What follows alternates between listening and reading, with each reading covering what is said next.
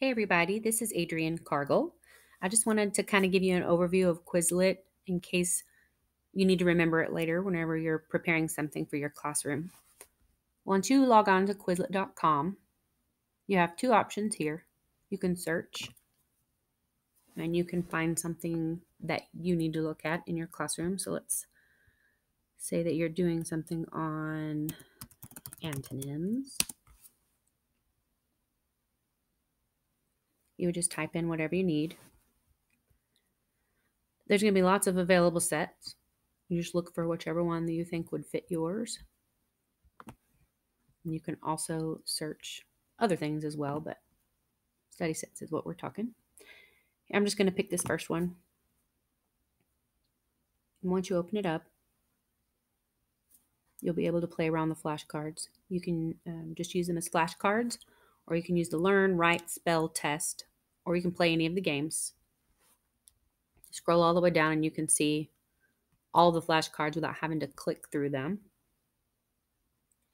And if you like it, you can share it through an email or you can customize it and make it your own and change it, which is my suggestion. So I'm going to click on that. Once you click the customize button, it'll bring your new study setup. You can make a new title for it. You can change the pictures. You can do all kinds of things. Hmm, once you look at it and you think, no, I like it. Well, let's see. I want to change this picture. So you could click that. Instead of this picture, you could use this one.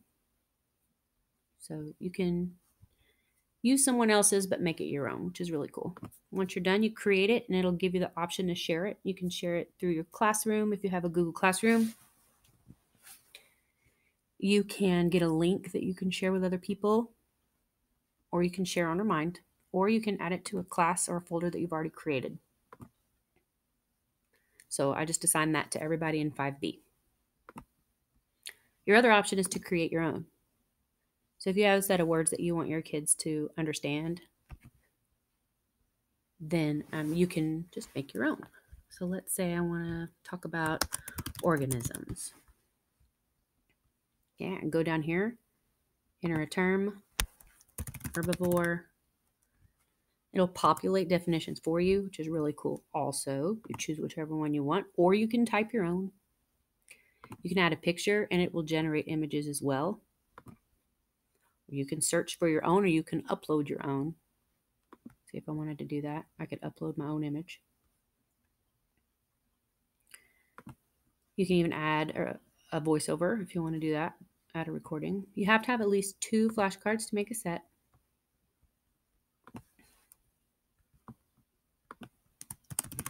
Let's do carnivore.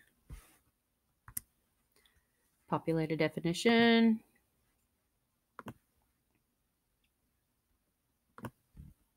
add a picture. Okay, you can just keep going.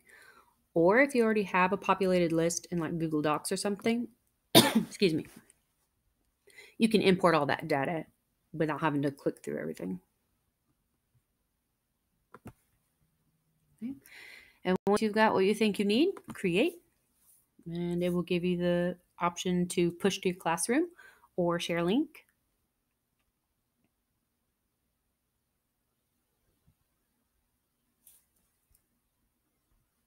There we are. All right, so let's say you want to set up your classrooms.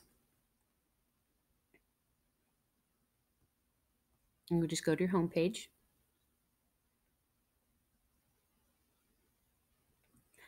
And you can go to settings.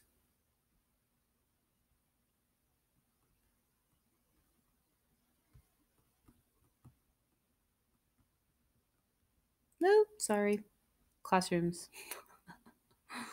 Create a class with your classes. Name it whatever you want. You can allow your students to add study sets and new members, or you cannot. Find your school, create it,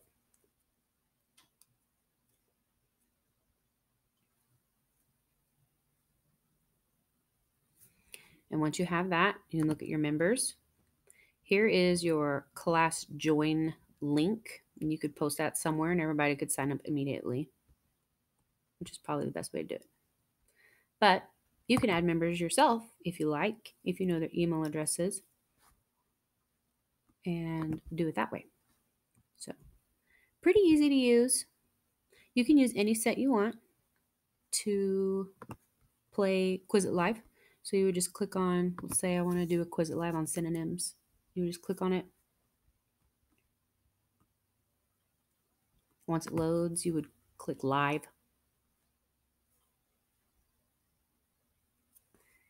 And boom, you're ready to go. Just post this